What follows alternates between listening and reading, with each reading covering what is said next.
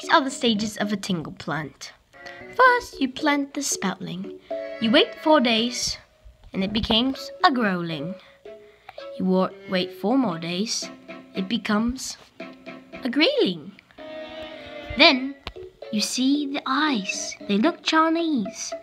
Then you wait four more days, it becomes an ailing. Then you wait four more days, and it becomes a dingle.